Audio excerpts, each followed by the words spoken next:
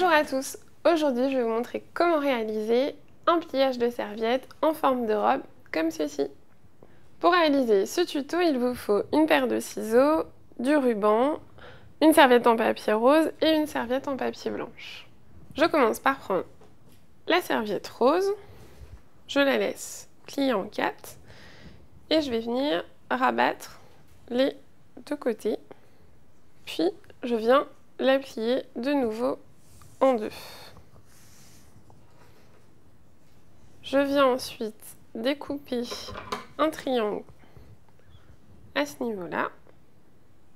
Ensuite, je coupe en bas. Et je viens former un dernier triangle à ce niveau-là, à peu près au milieu.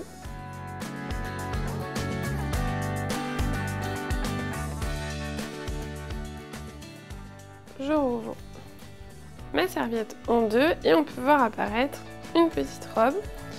Je vais venir ensuite placer autour un ruban.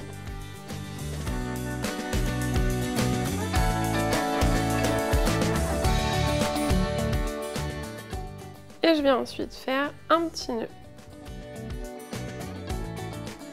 Je viens ensuite couper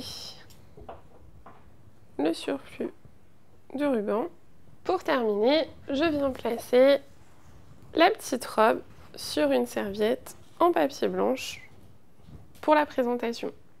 Vous obtenez ainsi un joli pliage de serviette en forme de robe que vous pouvez disposer à l'intérieur d'une assiette pour décorer votre table par exemple. Si cette vidéo vous a plu, n'hésitez pas à la partager et abonnez-vous à notre chaîne.